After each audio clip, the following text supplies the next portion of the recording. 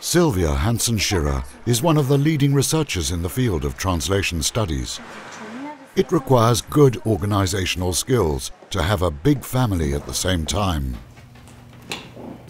I can work at home or in the evenings when the kids are asleep. And in the end, it's up to me to stay in charge of my own time and my priorities. Also in her job, Hansen Schirra has to manage and multitask. She coordinates different research projects, raises funding, supervises her PhD students, and works with all kinds of different organizations. But the balancing act between work and family is not the only one that Hansen Schirra faces. Also in her research, she combines two different areas, humanities and sciences. So, wir beginnen jetzt mit der Erhebung. Bitte in den Monitor gucken. Hansen Schirra investigates the translation process. To achieve her goal, she discovered an innovative approach. She utilizes the methods of cognitive science to uncover what is going on during the act of translating. With the help of the electroencephalography, or EEG, Hansen Schirra and her team can measure the cognitive effort of their study subjects. The eye tracker tells them what the subjects are focusing on. She uses these two techniques to, for instance, improve subtitles for movies. Our eye tracking results show us the natural behavior of American natives when watching an original American movie.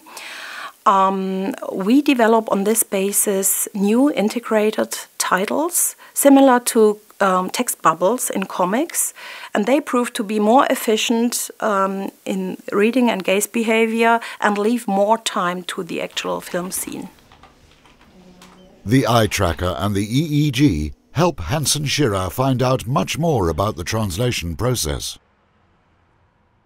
Our hypothesis is that the borrowing of Anglicisms as well as internationalisms causes less effort during the translation process. We investigate this phenomenon by triangulating EEG and eye tracking data. Nowadays, it is common practice to let a machine translate a text first and then let a human post edit it afterwards. This poses a lot of challenges for human translators. On the basis of our key logging and eye tracking data, we investigate the effectiveness on, of machine translation, but we also investigate the typical errors and problem solving strategies for the translator. Not only the research community is interested in the results, Daimler, SAP, and Boehringer Ingelheim use machine translation for their software and manuals. That is why they have become cooperation partners in this study.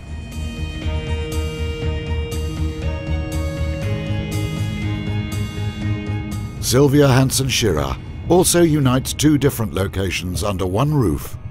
Even though her faculty is located in Germersheim, the university itself is 100 kilometers away in Mainz. For me, Germersheim is the ideal place to be. We offer academic programs in 13 languages. Students from more than 80 countries make our faculty very international.